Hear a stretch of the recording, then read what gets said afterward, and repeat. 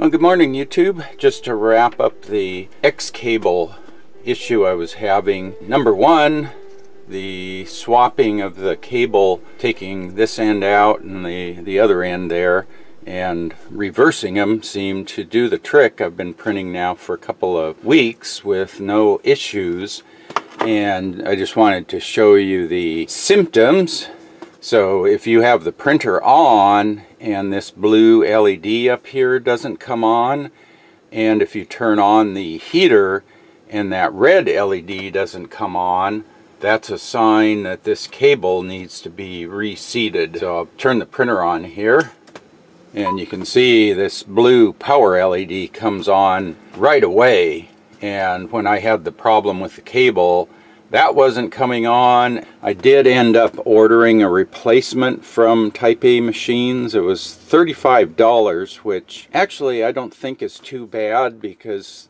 just the uh, raw ribbon cable, I think when I purchased some for my Raspberry Pi was on the order of like $25 if I remember right. And then these have these um, positive uh, retention connectors on the end that click in there. A lot of the flat flex cable just goes into a connector on the circuit board and then you flip down a holder to hold the cable in. These have the actual uh, physical connector attached to the cable. I don't know what uh, what these are called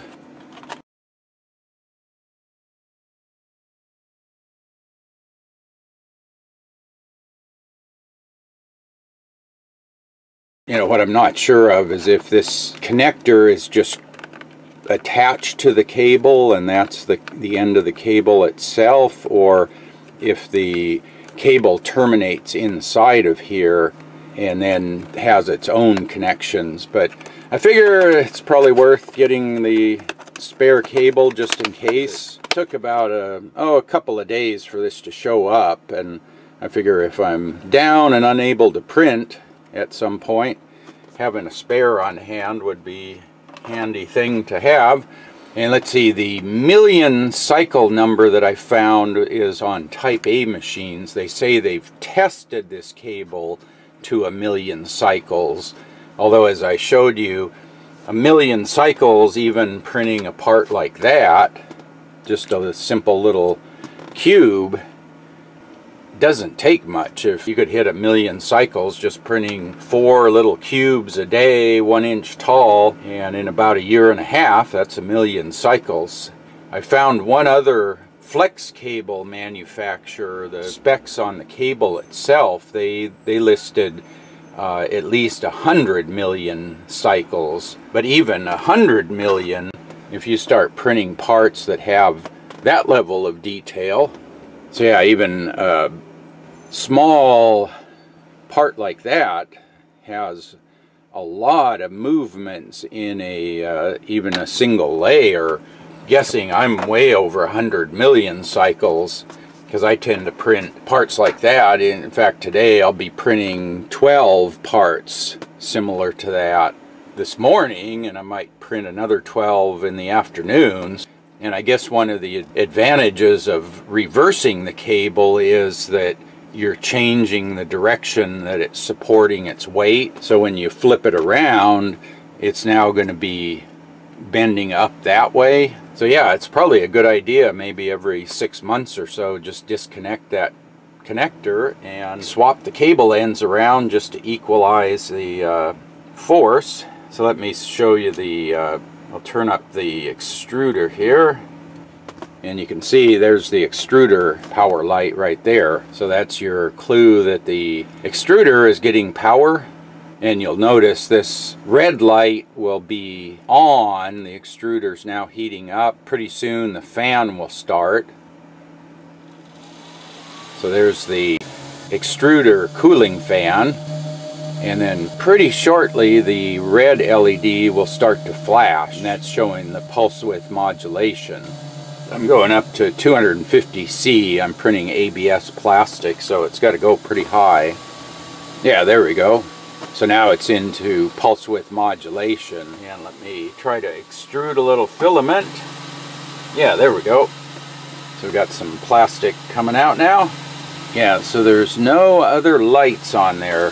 That was one thing I wanted to check. I, I didn't know if there was a light for the stepper motor driving the extruder right here. I guess that one you can see if it's running. So then I'll shut it off and there it goes.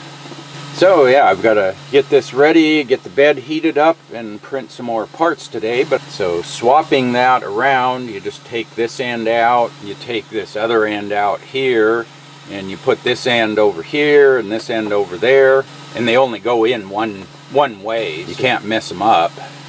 If you know what these connectors are, what they're called, or if these are something that could be made for a reasonable price, I figure $35 isn't bad, but if I could repair that cable for $10 versus buying a new one, that would be worth it. If it's going to cost me $30 to buy all the parts and I have to buy a $200 tool to put those connectors on, I guess I'll just buy a few extra pre-made cables or if there's a way if you know if there's a way to remove these connectors and then just replace the cable what I might do is I'll wait till this cable completely fails. I imagine at some point it's going to break. You know, if one of the connector tracks inside the ribbon cable breaks, that's the end of the cable. So at that point I might try tearing one of these apart and seeing if I can uh, figure out what's going on in there. But for now, this cable works. I've got a spare, so I'm going to just leave well enough alone, I think. So, yeah, if you have any background with these ribbon cables and these little uh, end connectors for those. This is the first time I've seen a connector like that on a flat flex cable. So if you know what these are called or if they're if they're user serviceable, uh, post up in the comment section down below. And as always, thanks for watching.